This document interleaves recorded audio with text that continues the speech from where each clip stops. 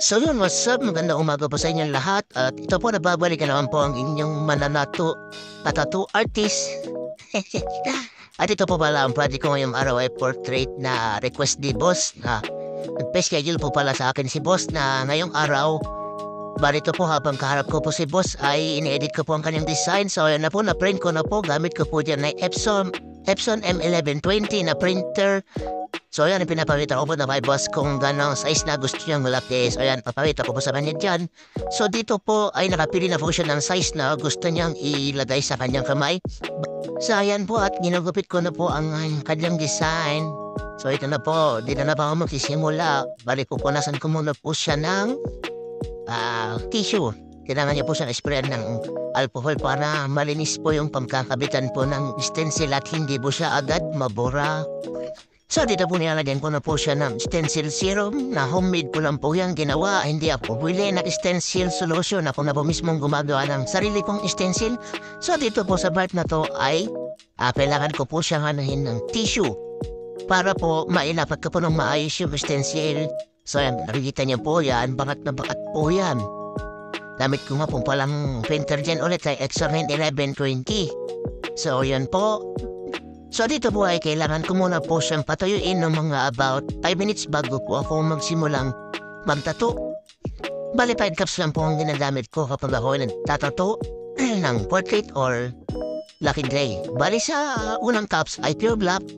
Then sa second cups ay 3 drops. Then sa third cups ay 2 drops. Tapos sa susunod ay puti. Tapos sinaluan ko na lang po siya ng isang itim at uh, konting Ah, blue. Sky blue, sorry. Pare sa, susunod, sa pinakalas na cup naman ay pure water na siya. Ako na lang bahala kung paano po siya titiglahin. Hindi to po ay nagsimula na po ako. Bali, inuna ko muna po ang gray. Kaya, baling yan na po. Ah, kung bago kami, nag, bago session namin ni Boss ay 3 days before session, ay nag-usap kami na kung anong magandang itato. At um, Naisip naman ni Boss high portrait. Sabi ko naman, okay naman ako dun boss dahil kung ano yung gusto mong ipagawa sa akin, gagawin ko naman. Kung yung talagang, yung talagang tapo na gusto mo yun, gagawin natin. Tapos sinadjust niya po ano yung magandang ilagay sa design na pwedeng idagdag. Tapos nag-suggest uh, na sila kung pwedeng uh, number yung kung kailan pinamanapan pa niya tatay. So, sabi ko naman, sige, game tayo dyan, sir. Sabi ko sa kanya. So, yun. Bali dito sa part na 2 po ay nagsis nasa part na mata na po ako.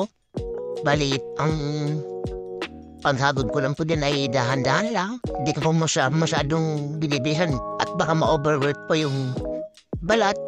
At ang gamit kong pink dyan ay dynamic black.